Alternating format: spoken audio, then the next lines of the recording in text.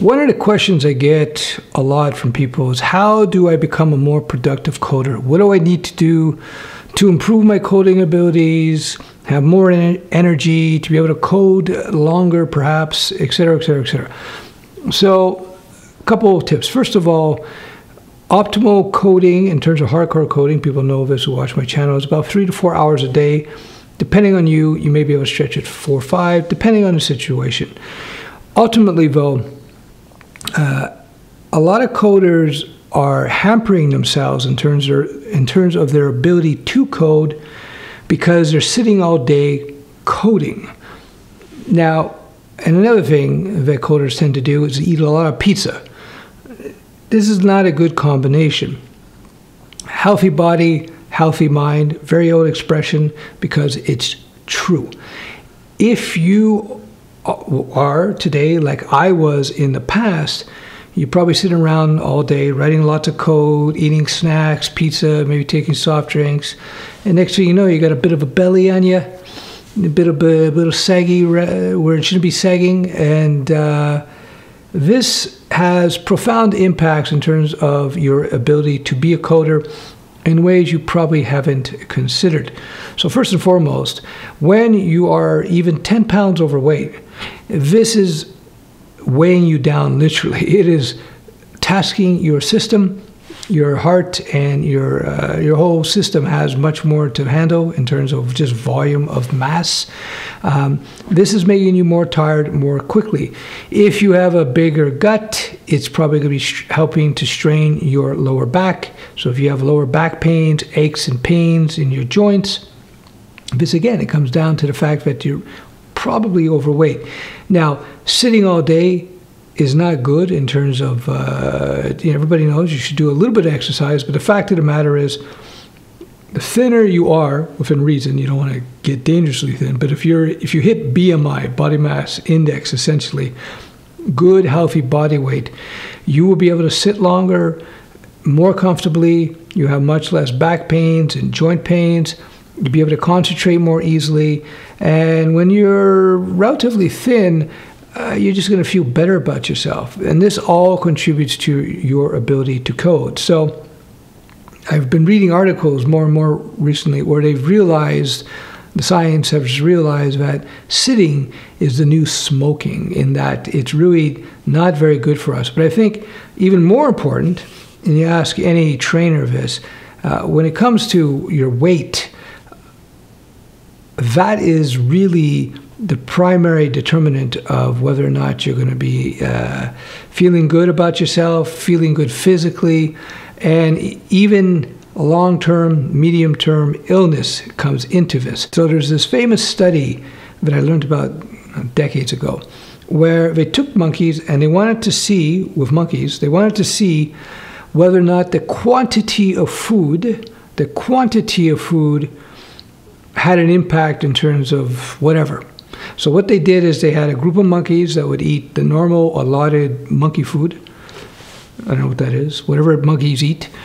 And then they had another group of monkeys that eat that would eat uh, 10% less, 10, 15% less, same exact diet, but just 10, 15% less. And they had another group that ate 25% more, something like that. So one group ate a little more, one group ate a little less than usual, and one group ate the usual amount.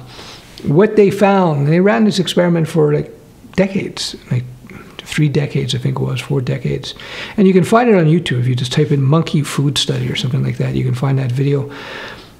And uh, what they found is that the monkeys that ate uh, whatever 10% more, 20% 20 or or 20% more, I don't know what the exact amount was.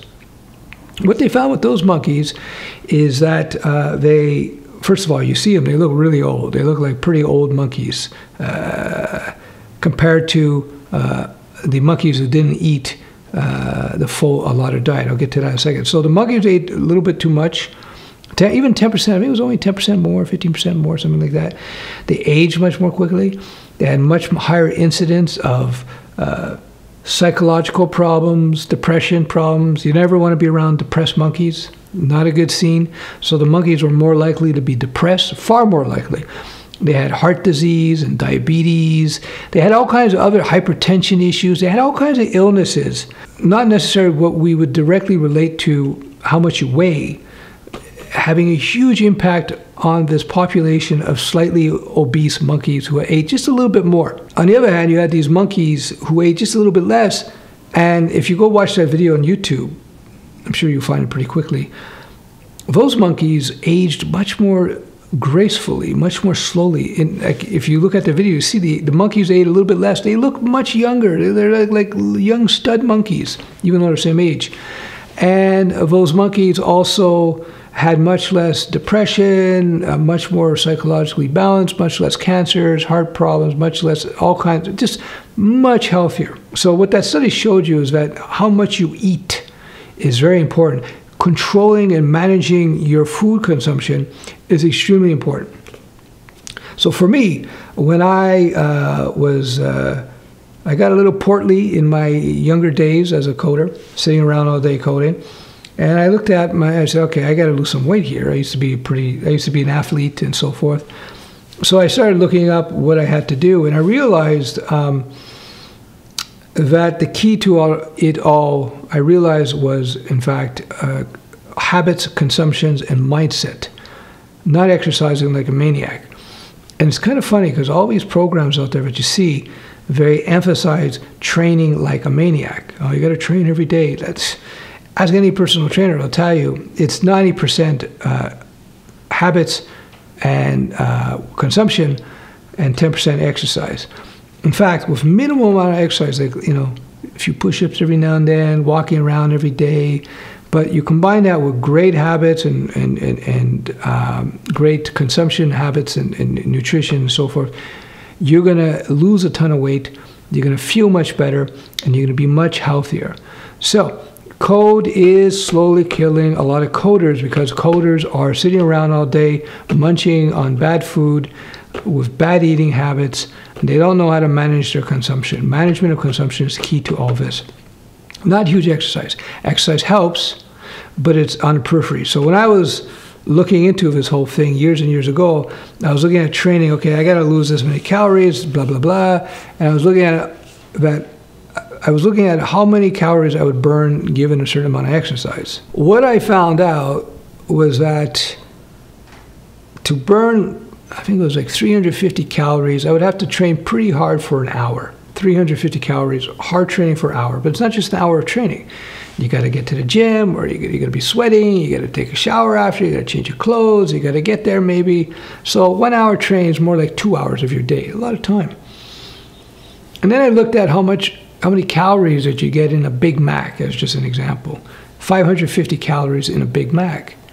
And I quickly realized that it was a lot easier to cut down my Big Macs by two a week.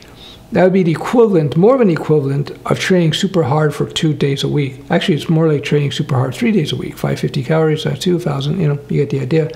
So I realized right then and there, just mathematically speaking, logically speaking, if I wanted to lose weight, calorie uh, control and consumption control, I'm not talking about starving yourself to death, but just like basic little things you can do had a much bigger impact.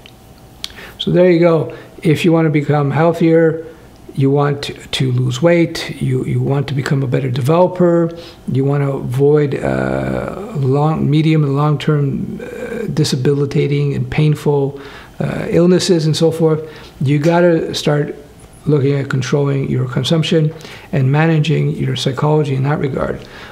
Throw in a little exercise as icing on the cake, pun intended, uh, and you're going to be golden.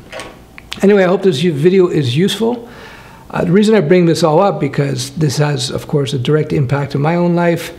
Uh, as you know, I've been I fast intermittently, not as religiously as I should because uh, you need accountability there. A good friend of mine, and I've mentioned it before, he's uh, he was 100 pounds overweight and he lost a ton of weight and he's in fantastic shape five years now. Actually, I'll put a link below. You can check out his video. It's pretty cool stuff. And when he now he's he's he's uh, away on vacation, but went not vacation, but he's visiting his family in the states. But he was here. He kept me kept me on my toes, kind of like a coach. The COVID pounds that I had put on I lost it all pretty quickly without having to exercise much at all, really. And just controlling consumptions, good habits, and so forth. Anyway, you can check out his video below. He's uh, he's now got a program. Yes, it's a bit of a shameless promotion here, but you know, again, I've been talking about this for the longest time now, as you know. You know, talking about healthy body, healthy mind, sitting around all day, eating bad food. It ain't gonna help you. So even if you're making a ton of money as a coder, if you're not feeling, if you're feeling sick all the time, tired all the time, uh, you know, so yeah, you might want to check that out below. All right, we'll talk soon.